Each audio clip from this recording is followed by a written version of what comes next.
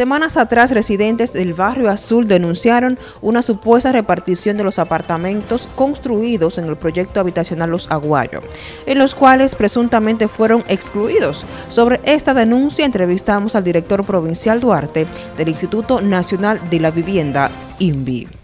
Eh, ya el gobernador y yo no, no tuvimos una reunión esos apartamentos que están eh, en proceso ya de entrega. Eh, yo me junté con el de la Junta de Vecinos eh, en Barrio Azul. Ellos alegan como que le den eh, esos apartamentos. Esos apartamentos se están eh, evaluando la persona que se le van a entregar.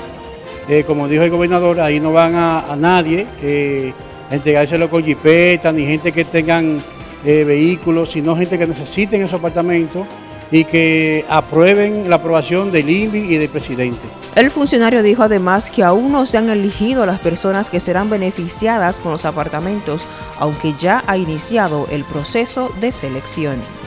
Bueno, las personas que van a ser eh, beneficiadas son aquellas personas eh, de bajos recursos, que, sí se lo, se, lo, se, lo merezcan en, una plataforma de, de inscritos, para que vayan al INVI a inscribirse eh, hay unos, unos, unos papeles que se necesitan para eso.